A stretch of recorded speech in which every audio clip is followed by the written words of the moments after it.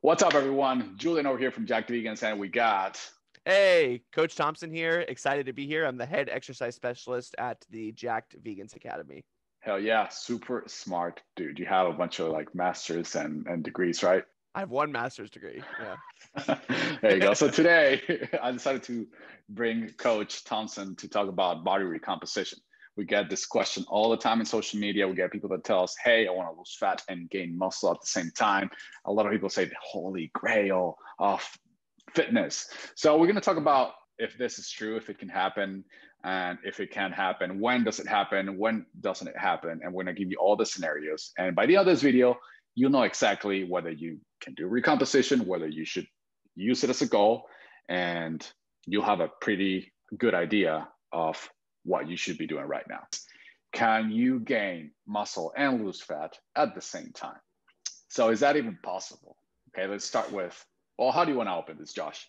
No, I think that makes total sense. And this is an issue that general population really struggles, I think, to grasp their mind around. They always think that if they're training for X amount of time, then they're going to be losing fat and gaining muscle and body recomposition, no matter what their training looks like, no matter what their nutrition looks like, no matter their protein intake. Um, and so that's an issue because people are not going to see the results that they want or that they're striving for because it's should be prioritized to dedicate certain training phases depending on where you are in your training to one or the other to either gaining gaining muscle or or losing fat the funny thing is that a lot of people just I've gotten this question many times. So, so I want to just ex- do the holy grail. I want to gain muscle and lose fat at the same time.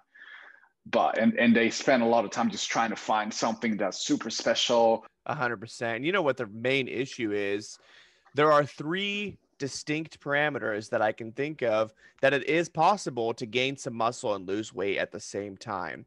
The first is if you are brand new to training your muscles are going to crave that stimulus. They're going to pack on the muscle for a brief period of time and you're going to oxidize fat because you're going to be burning a ton of calories. And so, for the first few months of your training, you will indeed put on some muscle and lose fat at the same time. The issue you run into is people think they can do that for forever. They think they can not monitor their calories, they cannot monitor their protein intake, their volume in the gym, etc just because for the first few months they saw some progress. But if you're looking to have a healthy lifestyle, maybe you do body recomp for a month or two, and then you start to really narrow down what your training needs to look like. So for anybody that's a beginner, yes, you will lose fat and gain muscle at the same time. The second circumstance is somebody who used to lift all the time and then they took a break for a year or two. So an example of this is let's say somebody is used to being in the gym 5 times a week, right?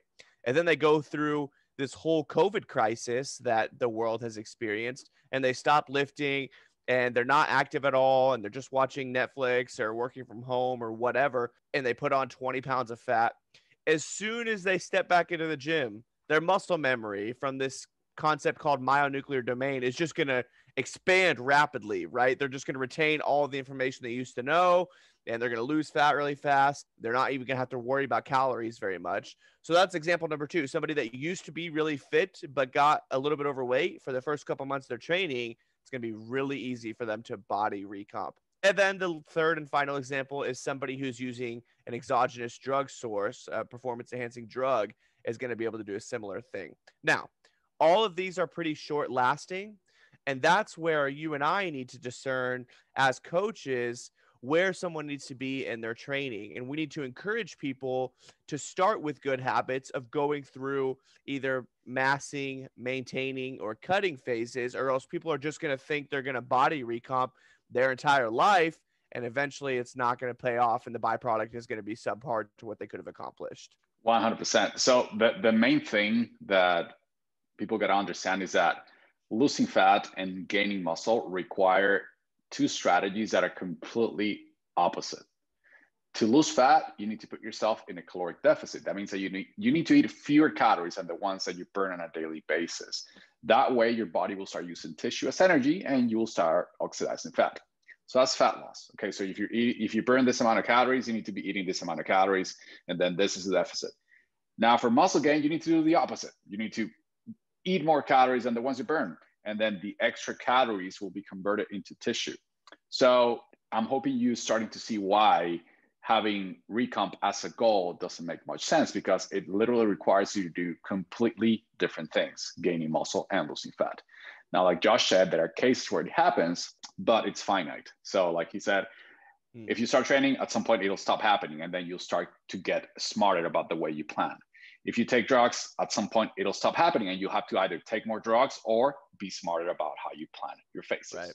So, having trying to find this holy grail would just leave you wasting time and with a lot of frustration because it's not a good way to structure your training and your nutrition.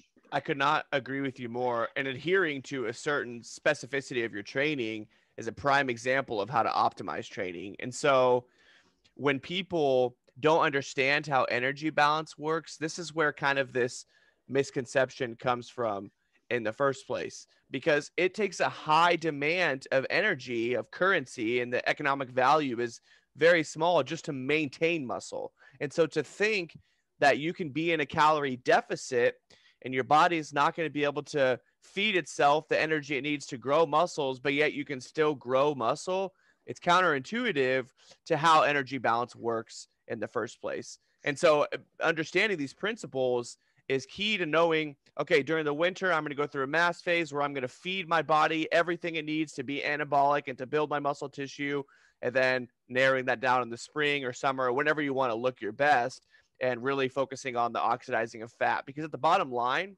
your body is going to be either losing mass in general from whatever source or gaining mass in general. So your pounds on the scale are going to go up and down depending on what your energy uh, intake is. And so prioritizing where that's going to come from is crucial. Yeah, man. So I think we can we can give people some directions as about what what they should be pursuing depending on how they look and um, and on their current body composition. What are good parameters for you, someone to decide whether they need to go on a fat loss mm. phase, on a maintenance phase, or on a muscle gain phase? Great question. For the first few months, of a lot of people's training, let's say you're between 10 and 20 or 25% body fat as a male, uh, and then maybe 20 to 35% as a female. I will almost always put people at maintenance calories because for the first 10 weeks or so, they are going to experience that body recomp that we're talking about. But after that initial 10 week period, which is not very much time at all compared to your entire life, um, it, it's crucial to, to start emphasizing what you want to accomplish. So let's say you lose 5% body fat um, as a male, right? You started off at 15%, you lose down to 10%. Well, then me and this male would have to have some type of discussion. What are your future goals? What do you want to accomplish by next summer?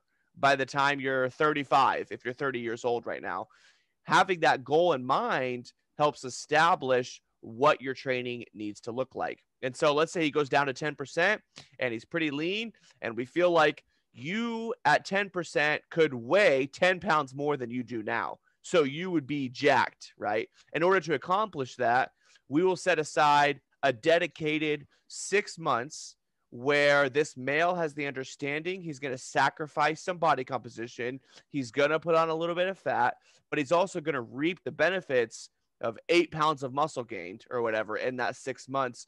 So by the end of the six months, maybe he total put on 20 pounds or something, 25 pounds, and gained eight pounds of muscle, in which case we take him through a fat loss phase so that by the time he's down to that ideal body weight again, he's eight pounds heavier than he was, or 10 pounds heavier than he was, or whatever, and he's significantly leaner and his muscles are just shredded and popping out. That's the only way for that to take place. So, like in the beginning, he did, you know, put on a little bit of muscle and gained a little or lost a little bit of fat.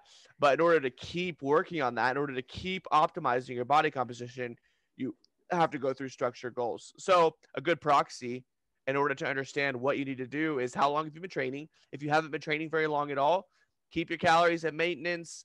Don't worry about them very much. Hit your training really hard for 10 weeks or so. Really get used to being in the gym because you don't need all of this information thrown at you at once. After you go through that 10, 15 weeks, whatever it is, find out what your goals are and start by attacking it. So be in a calorie surplus if you want to put on more muscle, or be in a calorie deficit if you're feeling like you're way overweight. That's the best way I can answer that question. And then that, that's a great answer, man. So to recap, when someone's starting out with training, if they're between 10 and 25% as a male and 20 and 30% as a female, the best strategy is to start maintenance calories while training very hard. And obviously while eating sufficient protein as well. Protein is key here.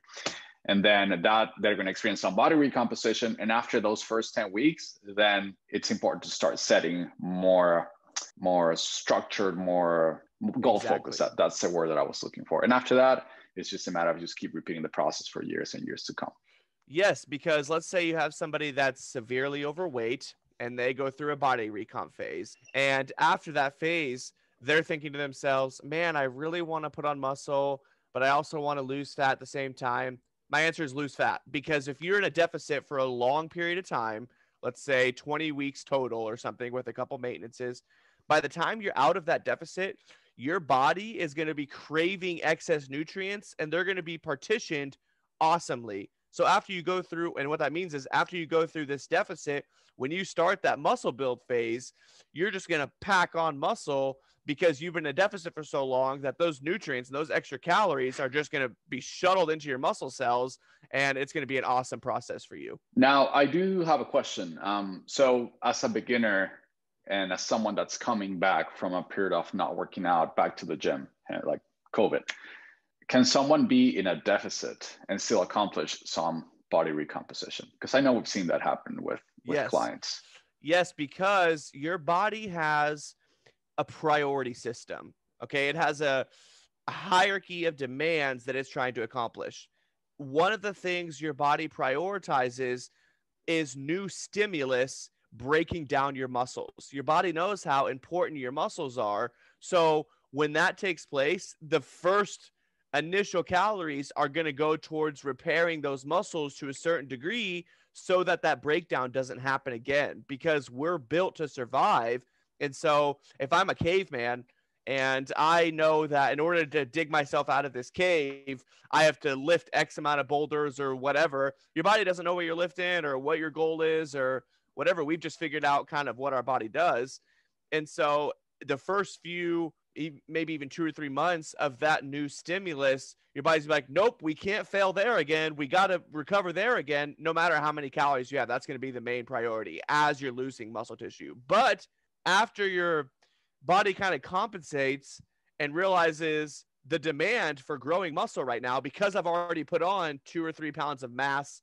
wherever, is just too much. It's not worth the energy trading here that will that will start to recede and you will not put on as much muscle as you used to because it's too great of an energy requirement until you introduce a calorie surplus.